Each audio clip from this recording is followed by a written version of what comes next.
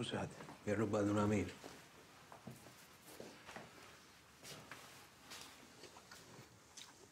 Comunque se volete chiamare l'ambulanza fatelo. Però cominci pure a pensare come gli devi spiegare quello che è successo. Che gli dici? Che un ragazzino disarmato mi è entrato in casa. Che tua moglie gli ha sparato. Magari mentre stava scappando.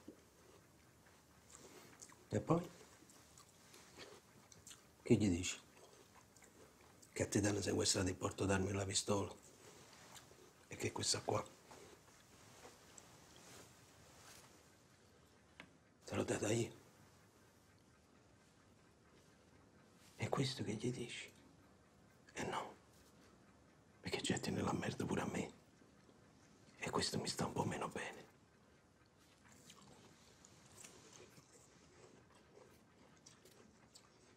Pensa che schifo che è la vita. Indovina dove te l'ho rimediato questo? Da suo zio.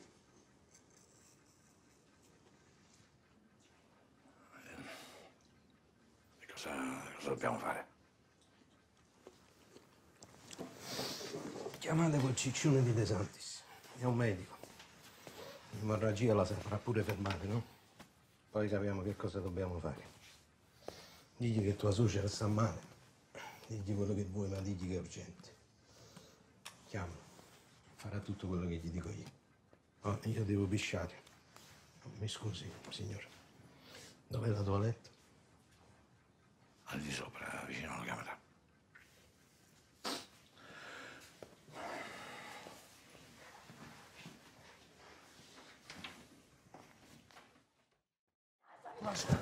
Ascoltami, ascoltami!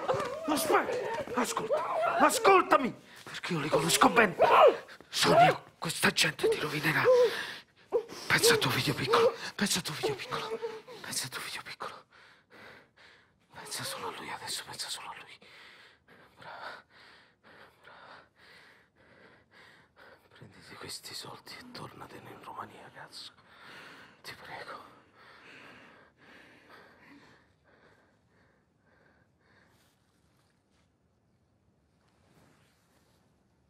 Adriano è venuto qui per rubare. Questo domani diranno in paese. Sapranno di tuo fratello. Diranno che era d'accordo con lui, che tu eri d'accordo con lui. Ne uscirai distrutta. Perderai tutto, non crederanno a una parola di quello che dirai. Che pensi? Eh? Una donna di notte, sola, coi figli. Un ragazzo rumeno che gli entra in casa. Eh? Se voleva scappare, se non lo era, non gliene frega un cazzo a nessuno.